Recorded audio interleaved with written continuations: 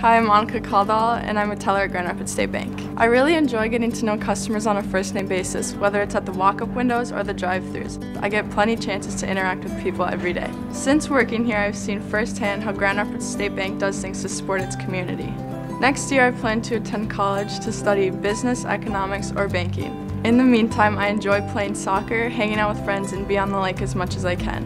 I really like working for Grand Rapids State Bank. My community, my bank. Grand Rapids State Bank.